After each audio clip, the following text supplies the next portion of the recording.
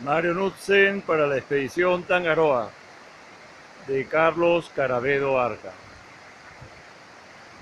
Carlos Carabedo Arca, precursor y creador de la expedición Tangaroa, que partiera a la Polinesia un 26 de julio en su balsa Tangaroa.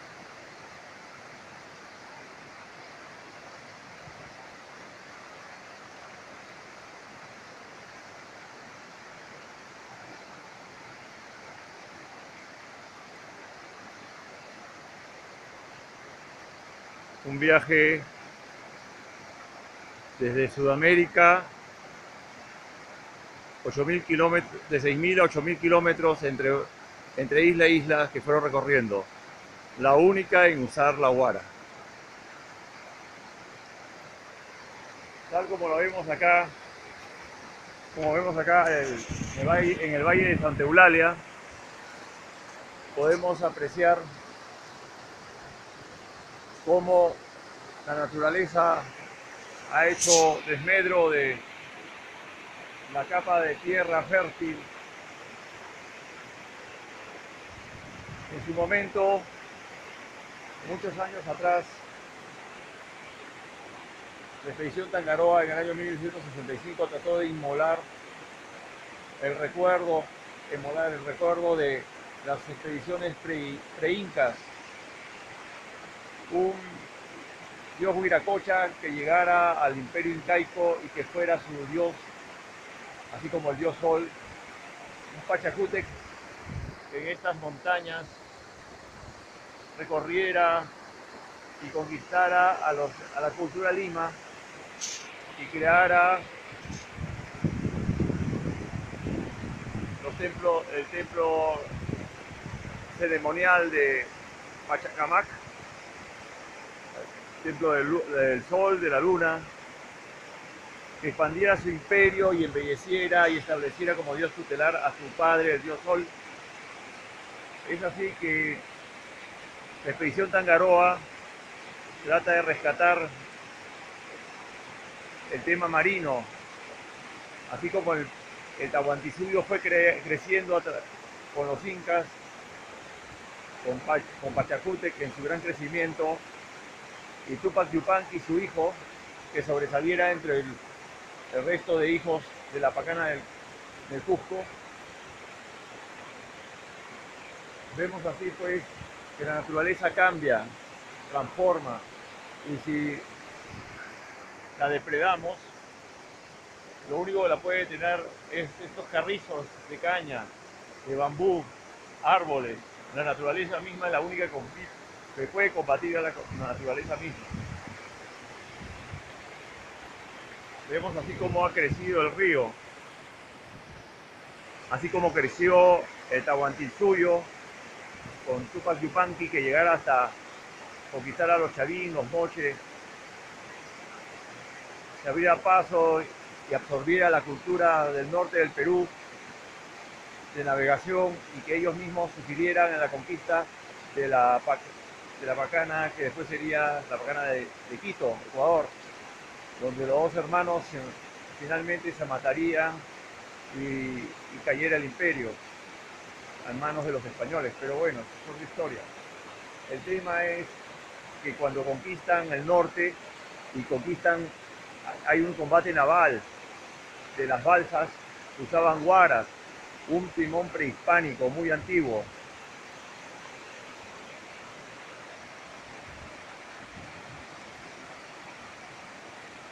estas balsas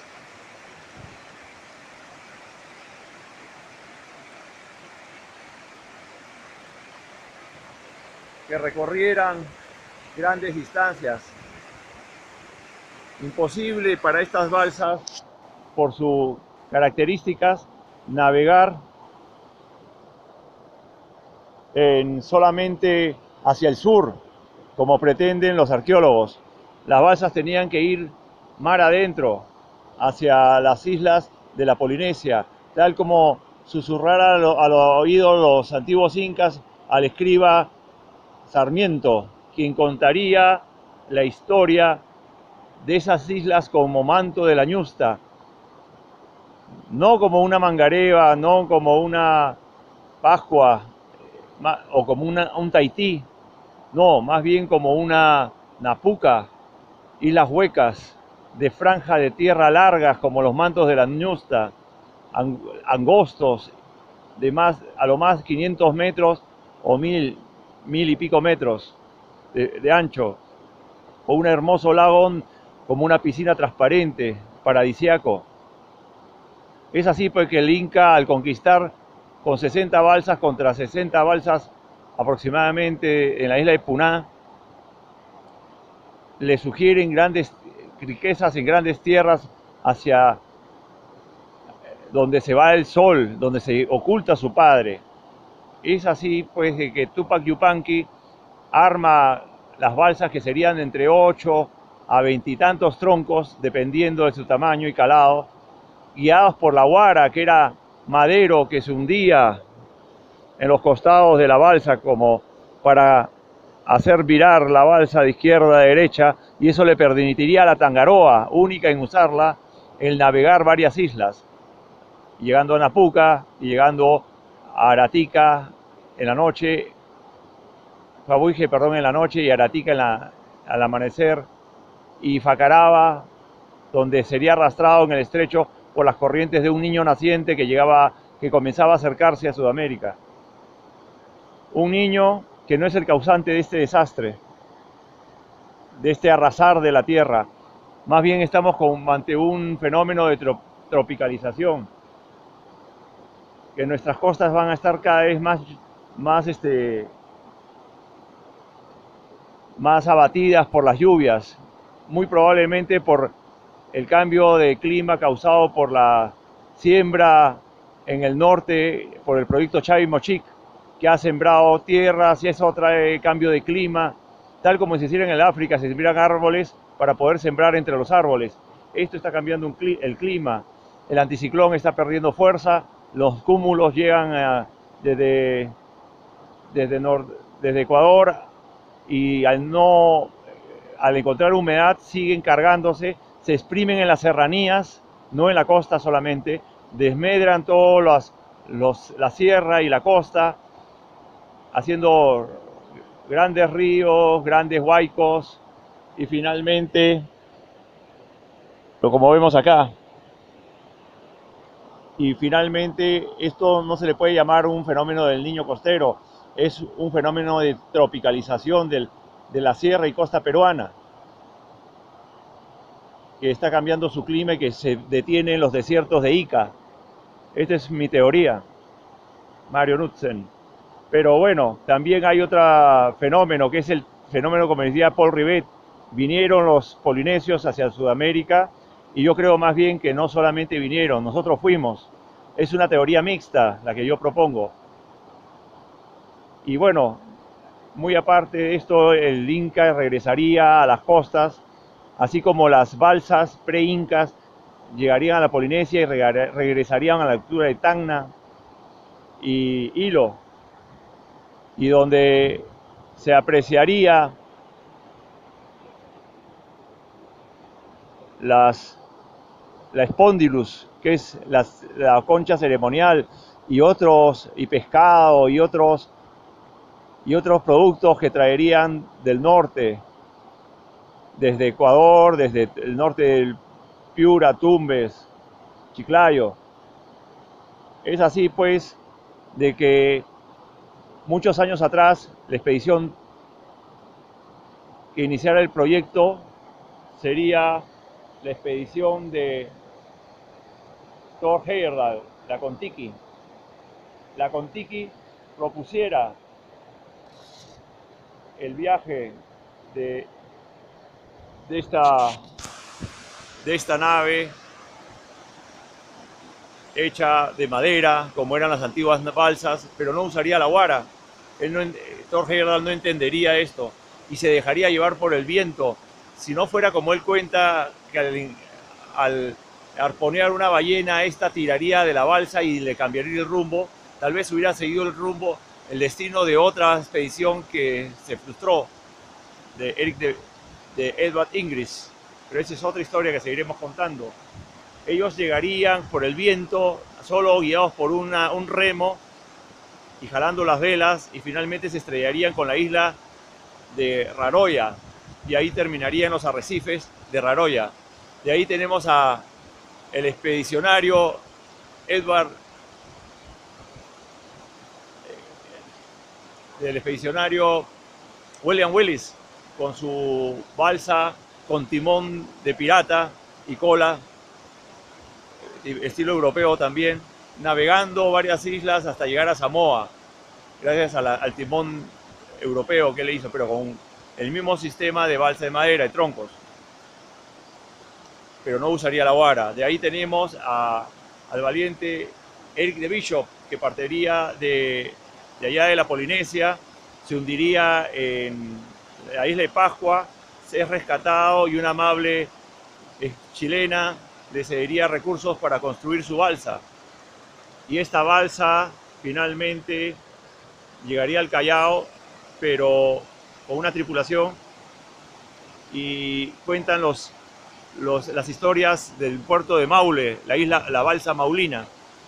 Y esta balsa lamentablemente se desmoronaría de camino a las islas y entre sus restos, amarrados como se pudo, en alta mar, llegarían, sobrarían ya los restos en la isla de Racajanga, donde Eric de Bichup, al no saber nadar, se ahogaría. Para, gran pena para esta dama chilena. Y así pues tenemos la siguiente expedición que es de Eric de Bishop, la primera que le hubiera pasado lo mismo que casi le pasa a la Contiki, se dejó llevar por los vientos y estos no son los que lo guían. No es, no es el viento que, que te lleva, es la guía del hombre con su vara y simplemente terminó por Colombia. La segunda expedición de Edward Ingris es que quiere participar Carlos Carabeo y había seguido de paso a paso con su gran amistad con William Willis, en donde trató de participar y le llevara alimentos para su balsa. Finalmente no partiría, pero Edward Ingris con otra tripulación llega a la isla de Mataiva, última isla del glosario de islas, si no hubiera terminado en Rakajanga, probablemente. Es otra isla hueca maravillosa de la Polinesia. De ahí llega el pensamiento de Carlos Carabedo. Carlos Carabedo dice, ¿y por qué no tenemos una expedición de solamente los peruanos? Esta es la razón, muy probablemente. Y es así pues de que la expedición Tangaroa se comienza a forjar en la mente de Carlos Carabedo y en 1994 parte al Ecuador y se va a la isla, a la, a,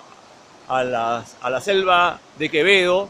donde un amable hacendado ecuatoriano, Negrete, le ofrece los, los árboles y le da la orientación con la única petición de que diera a conocer que estos árboles y estos troncos eran ecuatorianos. Bueno, se, le, explica que si usa los árboles macho, son de poca durabilidad y flotabilidad. Mejores los, árboles hembra, para un, pero, pero dura menos. Y él escogió los hembra con esta razón y los trae hacia el puerto de, su, de Quito y de ahí es embarcado por un amable un amable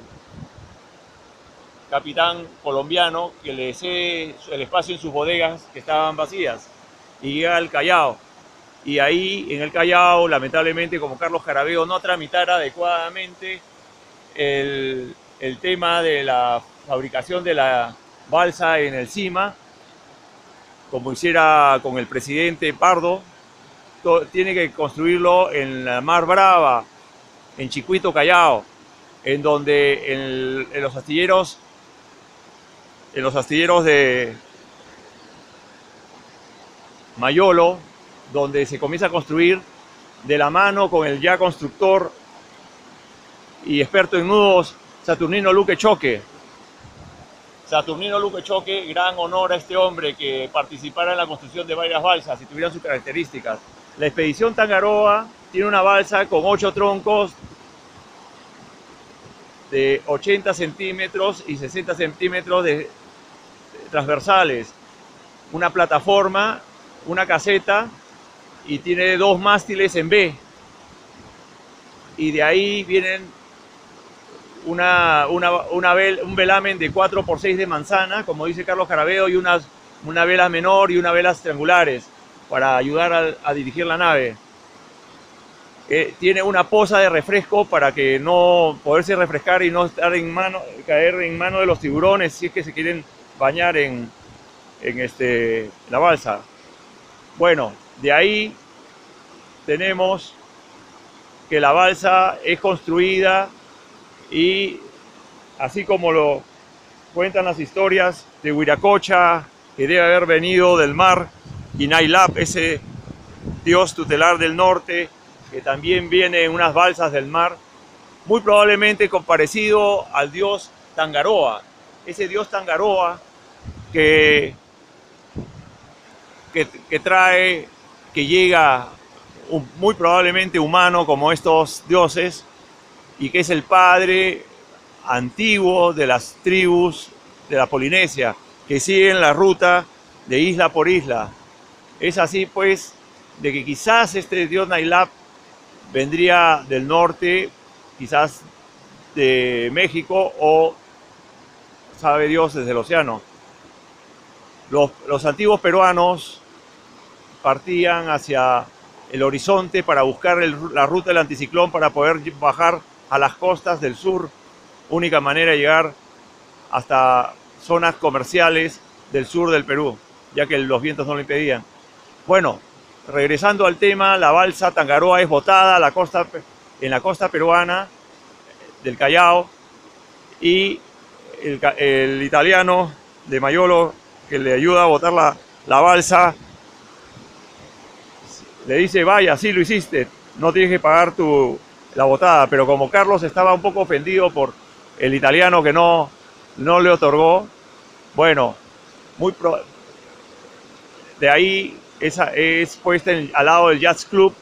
del Callao, de la punta, y queda reposando mientras es ensamblada con equipajes como radios, cilindros para llevar agua, y poco a poco, como estas grandes montañas que se hicieron en miles de años acá, se fue construyendo esta balsa, equipando y pintando de rojo y blanco. Y finalmente, con una, una tripulación organizada con Jared Hudhur, Marco Seña y la señorita Elvira Tazara, que lamentablemente ante la negativa constante de tres meses de la Marina de Guerra del Perú, del jefe de puerto específicamente, ellos no pueden más, pese a ya tener conocimientos de navegación, de, rutas marítimas, que se había empapado Carlos Carabeo, le exigen mayor seguridad y es que cambia la tripulación a una tripulación de, de dos mari, un piloto conocido de la Marina Mercante, Toledo, y un radioescucha Matous. Pese a esto, seguíamos en julio y estaba por llegar a las estas patrias y no los otorgaban. Y por fin él consigue, los contactos y le dan el para partir el 24. Pese a esto, el capitán de puerto insistía en que no puede salir. Y finalmente, ante el tururar de, los buques, los claxons de los carros, el, bullicio de la muchedumbre en la, en la costa, el 25, el capitán de puerto otorga para que el 26 partan, un día como hoy. 26 de julio de 1965 fue el día, hoy día, eh, hoy el año 2015, recordamos esa partida. Es así que el BAP Dueñas, guiado por Gian Pietri, experto en, los temas del niño, y me explicara en un momento cómo el mar empuja el agua del océano hacia el otro lado del océano y nosotros estamos para acá. Y esta agua aguantada, cuando pierde fuerza los vientos alisios, viene el agua del niño y golpea nuestras costas, agua tibia y cambia el clima. Pero no es el caso de la tropicalización, como es mi teoría. Pero bueno, eh, Gian Pietri, el, que a un momento fuera vicepresidente de Alan García en su segundo gobierno, el buen amigo parte y lo lleva mar hacia, hacia la posición oeste, donde todas las naves habían sido depositadas.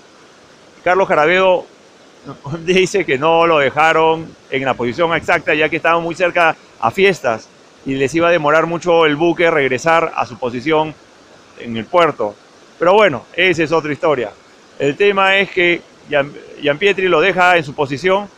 y Carlos Carabedo avista el pelado y comienza su viaje hacia la Polinesia. Es así pues que un día como hoy, Carlos Carabedo parte para poner en alto la bandera peruana, poner en alto la historia del Inca Tupac Yupanqui, de ese sol, su padre, y estas costas hermosas del Perú dan a luz una nave,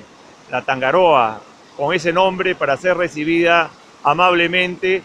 y guiada por las guaras, timones pre-incas que se ponen al costado de la nave, que le permiten a la nave navegar y recorrer las diferentes islas. Es así que pudiera llegar un 31 de octubre a los 97 días a la isla de Napuca, donde se puede ver que ahí viven poblaciones muy parecidas a los piuranos, gente amable, simpática, de ojos un poco rasgados, cachetones, cobrizos. Es ahí donde llega la isla Napuca, donde tienen mantos como de la ñusta, un, un lagón maravilloso, cristalino, como una piscina, y de que ahí recorrería varias islas avistando Cahuije en la noche, casi en los bramidos del mar, casi se estrella con los arrecifes, le esquiva gracias a las guaras y el tirar de la vela, donde avistaría peces, luces, los cielos estrellados, la nave espacial americana que circunnavegaba el espacio en esa época. Y finalmente, ellos, al tratar de llegar a la isla de Tahití, que era una de sus alternativas, y ante un creciente niño, son arrastrados en el estrecho de Facaraba, esa isla rectangular gigantesca de 46 kilómetros de largo, con estrechos mantos de la ñusta en sus bordes y un hermoso lagón paradisiaco como piscina, donde vivía el Tebana, que fuera de Tebana después, Julio. Y bueno, esa es otra historia que la contaré más adelante. Y donde la, balsa arremete hacia la costa por orden de Carlos Jarabeo Arca, 26 grados, 22 minutos sur.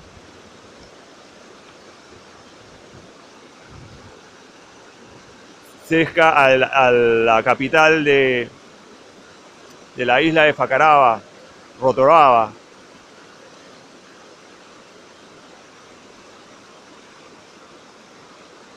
donde se despide Mario Nutzen desde el ancho, el ancho río de Santa Eulalia, que haya hecho una segunda vertiente al costado.